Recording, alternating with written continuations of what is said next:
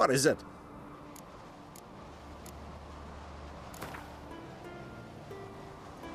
How about a few rounds of cards? Gwent, specifically.